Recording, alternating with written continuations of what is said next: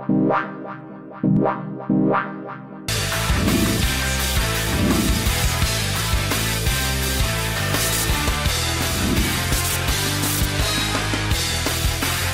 Ultimate Superbike Shootout action is proudly brought to you by NGK Spark Plugs. We're in Gqeberha at the Aldo Scribante circuit for the first round of the Ultimate Superbike Shootout. Yes, this is where things have turned around in the world of South African motorcycle racing, and it is fantastic to see what the future holds here, with everybody getting an opportunity to bring whatever you want to. Rob Portman, you're going to join me in commentary. I can tell you something, guys are fired up about this class. It is. It's the, the fastest riders in the land on the fastest track machines, uh, whatever tires they want, and it's brilliant to see the ultimate superbike shootout. It's a three-round sprint shootout, thanks to that man Jos Matthijssen, the man behind the World of Motorcycles Racing Series that the ultimate superbike has joined. All the riders getting a final riders briefing here, and also getting themselves a nice little pack from NGK. Clint Seller SA number one must be super excited to see so many bikes on track. It's been been some years since I've uh, seen so many motorcycles on the track, and uh, to be fair, all the guys are going super fast as well. So it's uh, really awesome. You know, we're so glad World of Motorcycles has, has welcomed the shootout into their series, and us and, and my team King Price Extreme. And uh, I think, yeah, I mean, even in practice, the show that uh, we're able to put on will, uh, yeah, make everyone thrilled. I think that that this whole program's arrived. McFlash is looking fired up as well. Let's find out what his plans are for today. Awesome. I mean, I must say it's been a long time since we've been on track, and there's 20 plus bikes riding around with you. You know, it's uh, it's a it's a nice change for us. We've needed, and it's just exciting to be racing with a whole bunch of guys, different bikes, different riders, different level of riders, but kind of everyone here for the same goal, enjoying riding and enjoying themselves. You know, that's uh, the most important thing. I'm just enjoying being here and getting a chance to race. And the man will be very excited about seeing so many bikes on track. Sifiso Temba, Clint Seller's teammate. It's so exciting, but um, a lot of work, the traffic, but the, the excitement and to see how everyone is just putting their head down and going just gives me so much uh, excitement that uh, tomorrow race day we are going to bring it on. Let's catch up now with Jos Tyson from World of Motorcycle. Very, very. It's, it's good to see that we've got 27 riders in that race, and the times differ by milliseconds. Uh, I think it's going to be very close. This is certainly something I've been looking forward to for a long, long time, and it's been a while since we've seen seven manufacturers represented in the front end of a superbike race. And this is exactly what's going to happen after the break. Join us for race number one here from PE.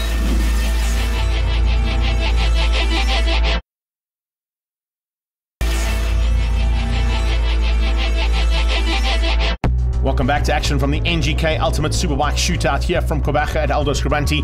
Aldo Scribante always proves a very good fighting ground for superbike racing, and with a field of almost 22 riders about to go to battle, all forms of motorcycles are allowed. 600s, thousands, you name it. You can see some of the 600s changing gearing here to try and keep up with the thousands.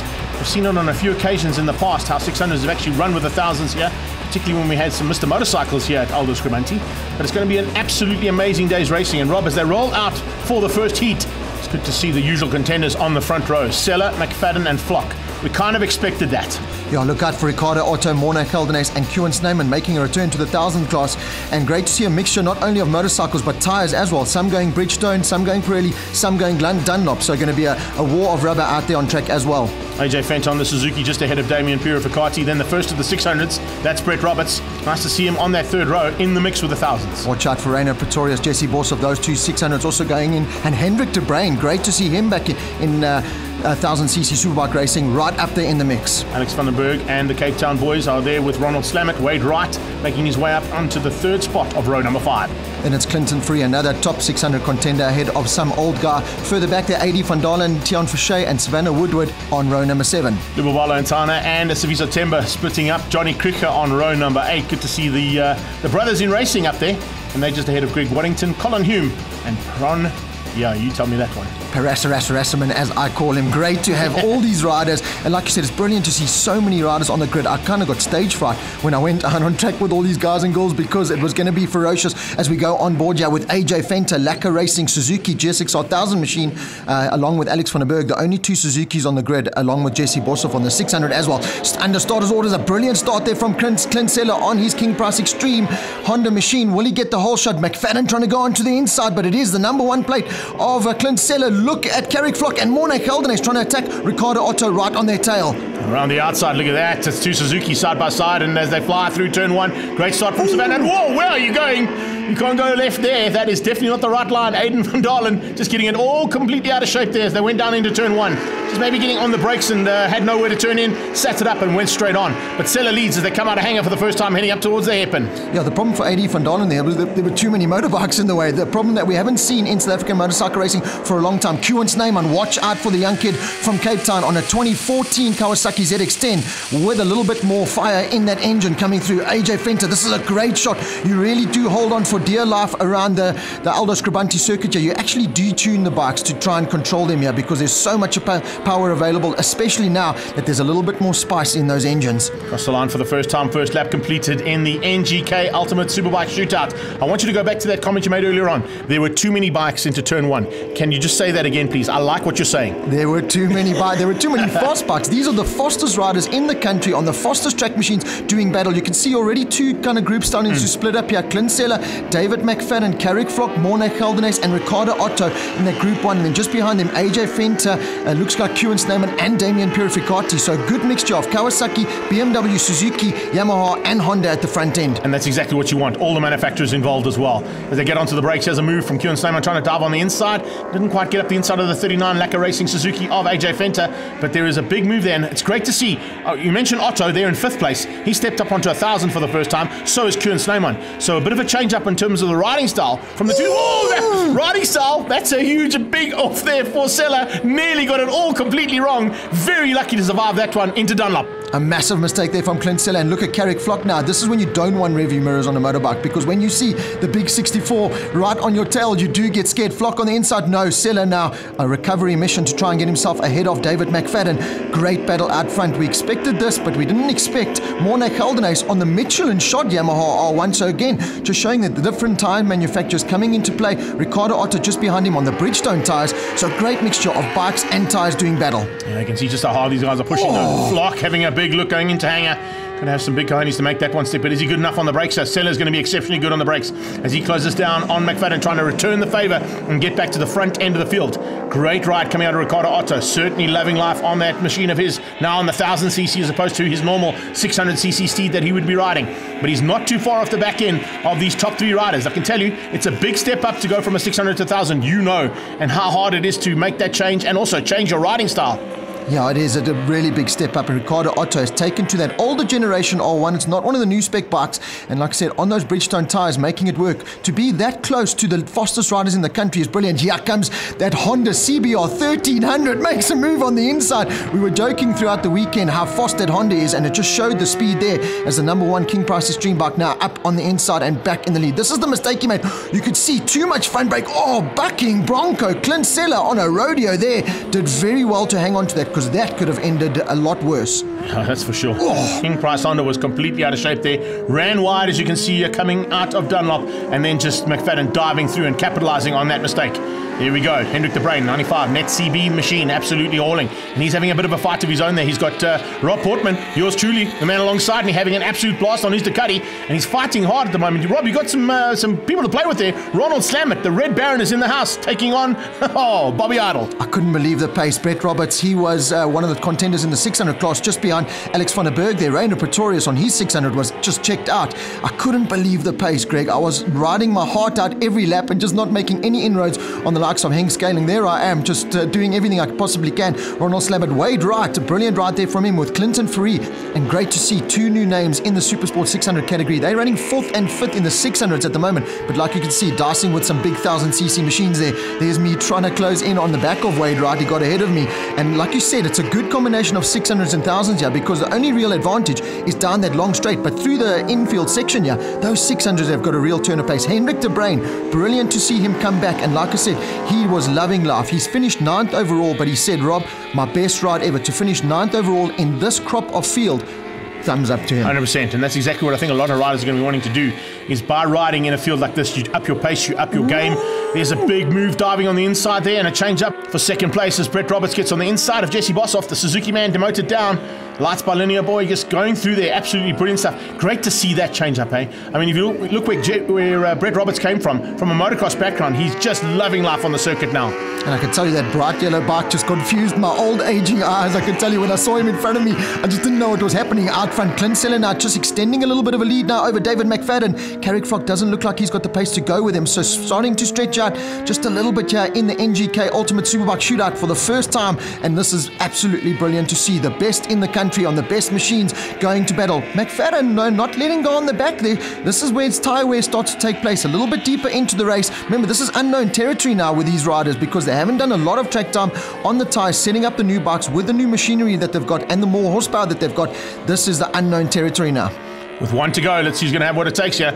Is it going to be Seller or is it going to be McFadden? McFadden having a look into turn one. Big foot out there from McFadden, but there's some traffic now to negotiate. Will Seller be able to put that traffic between himself and the Stunt SA man as they come out of turn one into the S's? They're going to catch them into Schaeffler, and there's a good possibility that that back marker might come into play. Brilliant battle here further behind Kieran Snowman, still ahead of Damien Purificati and AJ Venter. Purificati, hats off, one of the, the the most recent riders in this category, and he's just just improving every single time he goes out on track. AJ Venter changing 16 million tires before the race, so you can excuse him for just not having the energy or the pace to quite be on there. But how is that? AJ Venter, the caliber of this field, down in eighth place. That is how deep this field goes. Savannah Woodward in the 600 class, she's just been passed by Clint Seller and. Uh, David McFadden as they come to the line, and the first winner of the NGK Ultimate Shootout, shootout is Clint Seller on his King Price Extreme Honda. Seller takes it from McFadden. Flock comes through for third place. There you go. There's confirmation of the results. Morne Geldenhuys in fourth, beating out Ricardo Otto. Kieran Sneyman in sixth, ahead of Damien Purificati in the 600s, though. Rainer Pretorius hanging on ahead of Brett Roberts and Boshoff.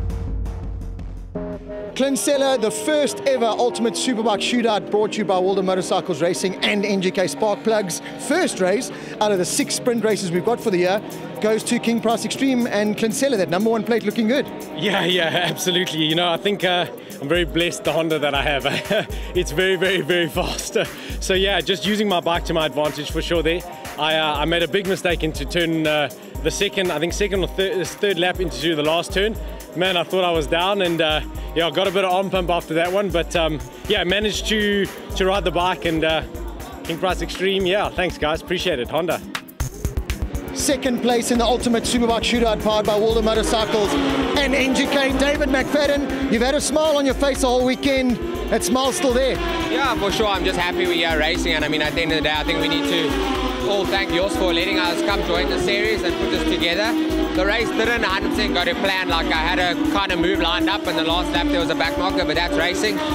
You know, well done to Clinton and his team. That generator is so fast. I'm literally blowing the paint on my bike, but we'll come to the next race and we'll hopefully hand out some hose pipes and let's just have fun, man. We're here and I'm enjoying it.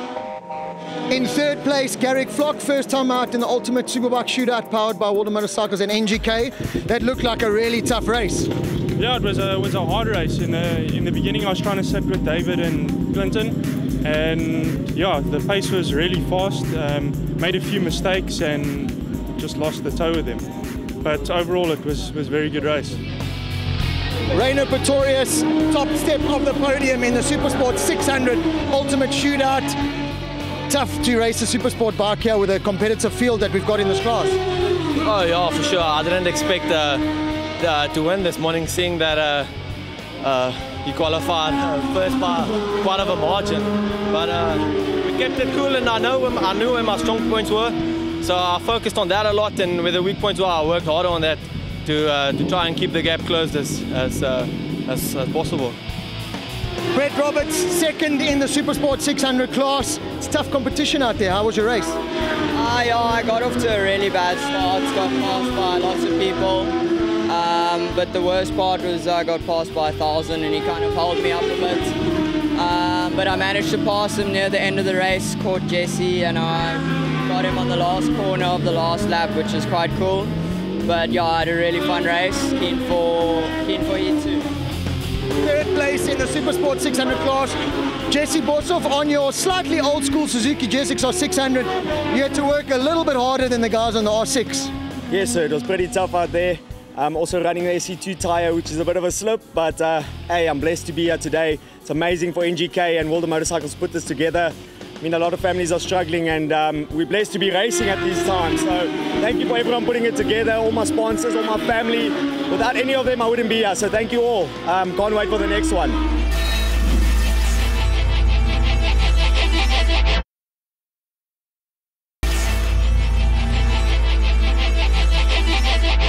Welcome back to action from the NGK Ultimate Superbike Shootout, and what an incredible first round.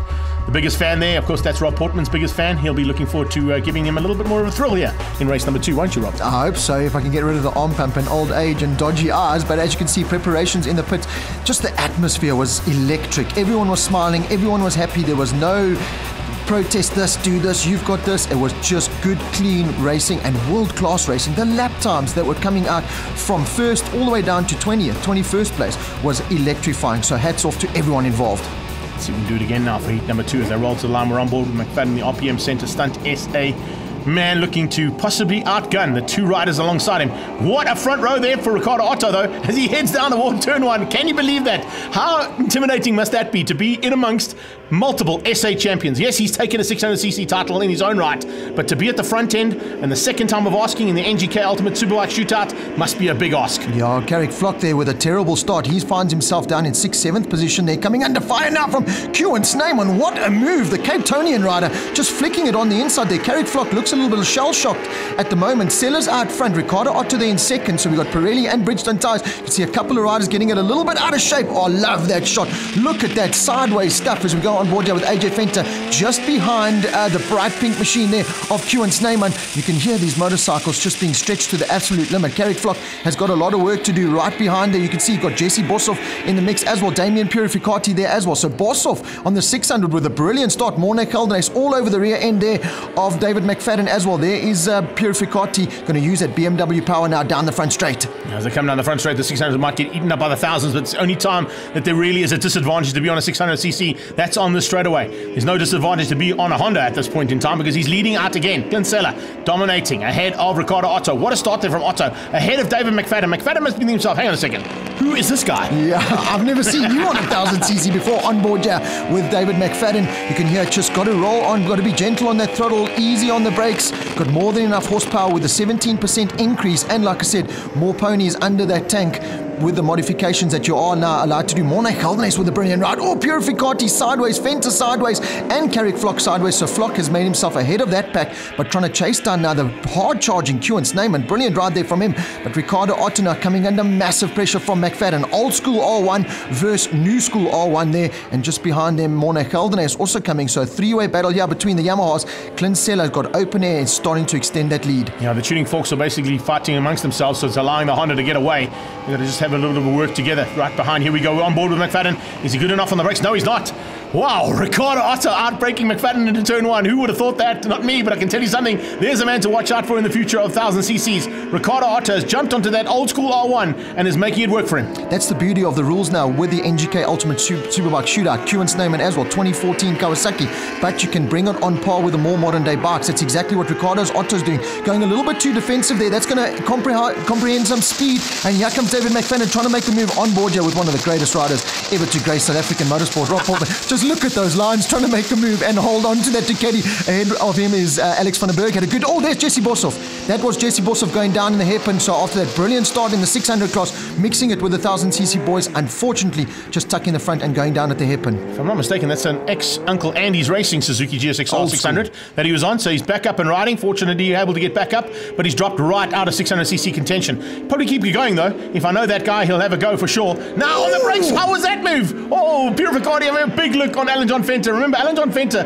has literally just come up the road from the hill climb, throwing a Hayabusa up the road there at the Simola hill climb, and he's now on his GSXR, pushing hard. I'm just ahead of that BMW of Purificati. You can see the two different lines there. Ricardo Otto goes so defensive there. That allows McFadden to get the drive, and I think we're going to see a change up for second place. Clint Seller, King Price Extreme, Honda Machine out front, but Ricardo Otto is really good on the brakes. We've seen it. Oh, I love that shot coming out of the hip, and you'll see these riders just fighting the motorbikes. Ricardo Otto still holding on to that second. Morne Geldenhuys just riding over our camera there. Thanks for that, Morne. We'll send you a bill.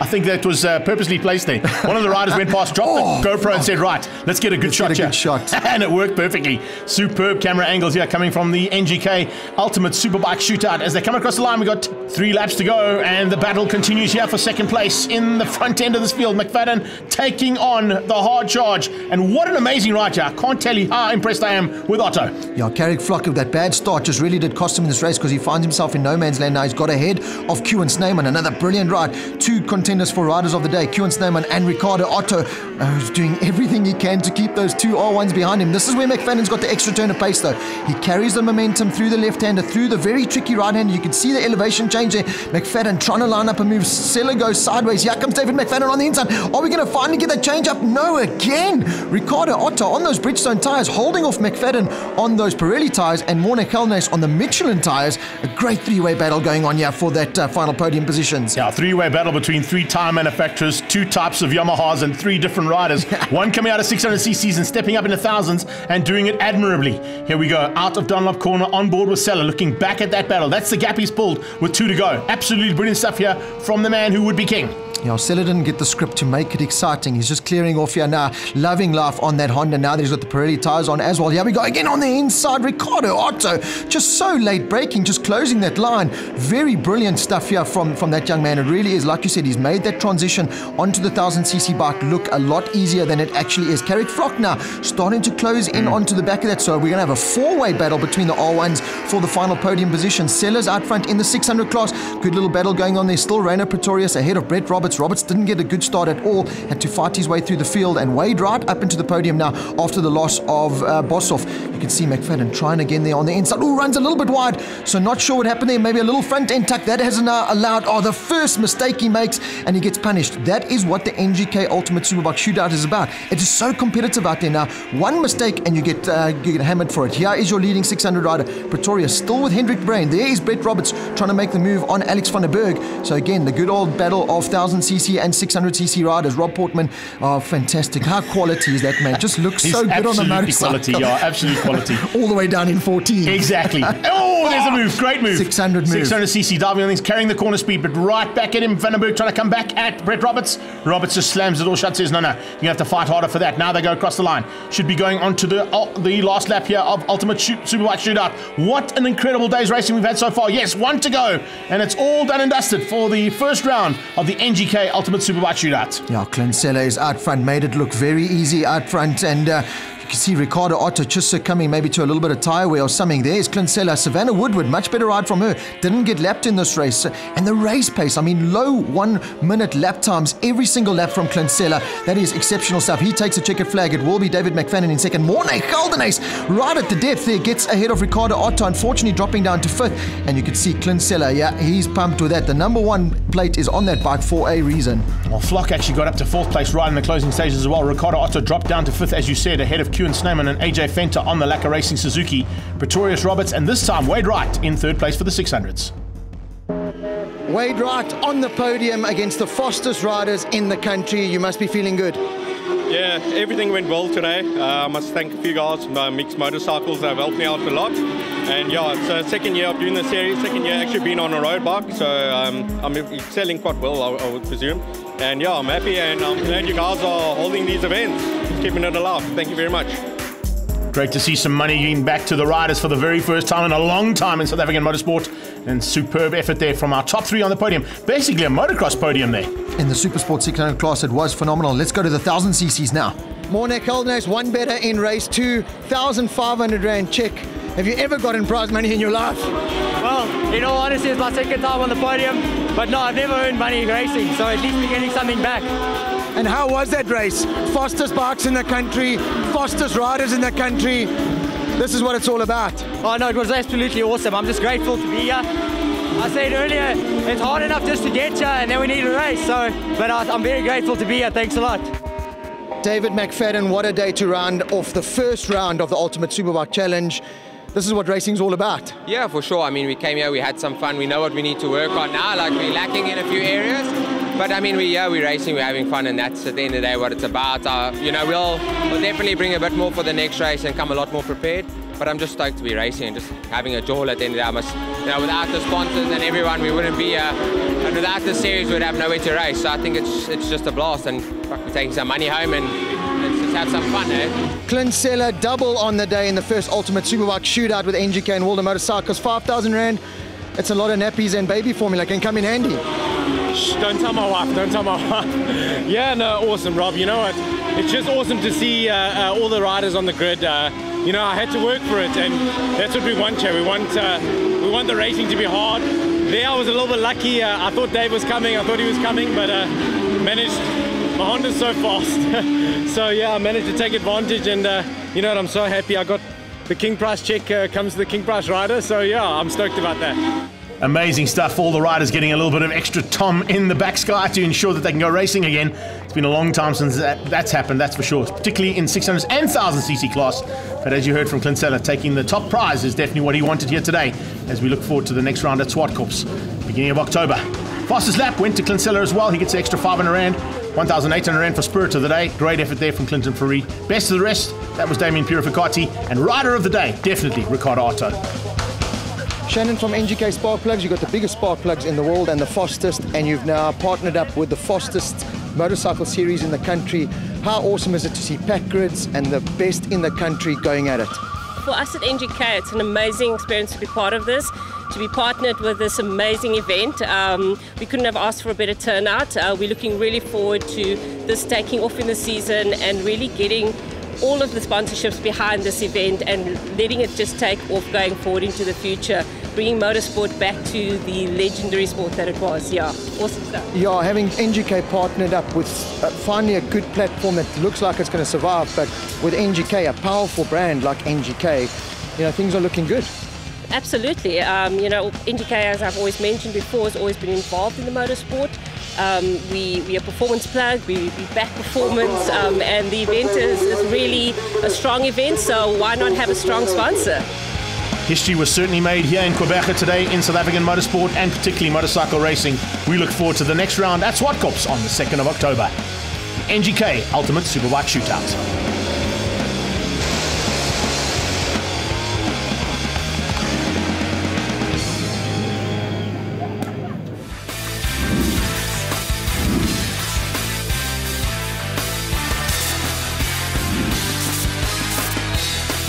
This Ultimate Superbike Shootout action is proudly brought to you by NGK Spark Plugs.